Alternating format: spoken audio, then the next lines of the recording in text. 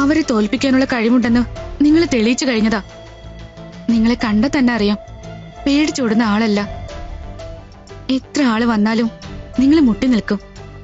നിങ്ങൾക്കല്ല പേടി. എനിക്കോ. ഞാൻ പറഞ്ഞില്ലേ? നാല് വർഷങ്ങൾക്ക് മുൻപ് എന്റെ മനസ്സിൽ പതിഞ്ഞുപോയ മുഖമാണിത്. ഒരു പുലർക്കാല സ്വപ്നത്തിന്റെ കൈയും പിടിച്ച് നിങ്ങൾ എന്റെ മനസ്സിലേക്ക് കയറി വന്നു. പിന്നെ ഇറങ്ങിപ്പോയിട്ടില്ല. മനസ്സിലിട്ട് താലോലിച്ച മുഖം ഇന്ന് എന്റെ മുൻപിൽ ജീവനോട് പ്രത്യക്ഷപ്പെട്ടു. എനിക്ക് നിങ്ങളെ പറഞ്ഞയക്കാൻ മനസ്സ് വരുന്നില്ല. കല്ലു. പോലെ കൊതി തീരുവോളം ഈ മുഖം ഞാനൊന്ന് കണ്ടോട്ടെ. കല്ലു. നീയേ സ്വപ്നം കണ്ടിട്ടുള്ളൂ. ജയന്തൻ നിന്നെ സ്വപ്നം കണ്ടിട്ടില്ല. അതുകൊണ്ട് തന്നെ നിനക്ക് ജയന്തനോട് തോന്നുന്ന അടുപ്പം ജയന്തന് നിന്നോട് തോന്നണമെന്നില്ല. ജയന്തൻ പൊക്കോട്ടെ. ജയന്തനെ ഒന്നുമല്ല നീ സ്വപ്നം കണ്ടത്. ജയന്തനുമായി രൂപസാദൃശ്യമുള്ള ഒരാൾ. അത്രേ ഉള്ളൂ. അതെങ്ങനെയോ സംഭവിച്ചു പോയതാ.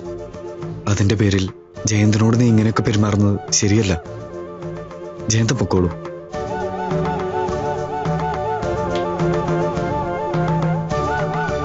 നിങ്ങളെക്കുറിച്ചോ? നിങ്ങളുടെ സാമ്പത്തിക സ്ഥിതിയെക്കുറിച്ചോ തറവാട്ട് മഹിമയെക്കുറിച്ചോ ഏട്ടനൊന്നും അറിയില്ല.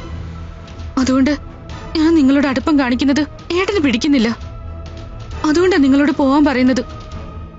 ഏറ്റവും യോഗ്യനായ ഒരാൾക്ക് മാത്രമേ എന്നെ കെട്ടിച്ചു കൊടുക്കുള്ളൂ എന്ന് ഏട്ടൻ എപ്പോഴും പറയാറുള്ളതാ.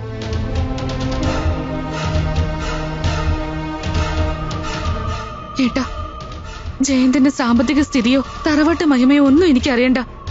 നാല് വർഷം മുമ്പ് തന്നെ ജയന്തന് സ്വപ്നം കണ്ടത് വെറുതെ ഒന്നുമല്ല. എന്നെ സ്വന്തമാക്കാൻ പോകുന്ന ആളെ ദൈവം എനിക്ക് കാണിച്ചു തന്നതാ. ഒരു യോഗ്യതയും ഇല്ലാത്ത ആളാണെങ്കിൽ പോലും ദൈവം എനിക്ക് വേണ്ടി കണ്ടുവച്ച ഇയാളെ മതി എനിക്ക്. കല്ലു. വേണ്ട. ഏട്ടൻ ഇനി എന്നോടൊന്നും പറയണ്ട. എന്റെ ഏട്ടന് പണവും തറവാട്ട് മഹിമയൊക്കെ വലുത്. നാലു വർഷം ഞാൻ എന്റെ മനസ്സിൽ കൊണ്ട് നടന്നതാ ഈ മുഖം. ഒരിക്കൽ പോലും നേരിൽ കാണാത്ത ഈ മുഖം. എന്നെങ്കിലും നേരിൽ കാണുമോ എന്ന് പോലും ഉറപ്പില്ലാതെ ഞാൻ സ്നേഹിച്ചു. അതൊന്നും പറഞ്ഞ എന്റെ ഏട്ടന് മനസ്സിലാവില്ല. എന്റെ മനസ്സ് നിങ്ങൾക്ക് മനസ്സിലാവുന്നില്ലെങ്കിൽ ഞാൻ പിടിച്ചു വെക്കുന്നില്ല. പൊക്കോ.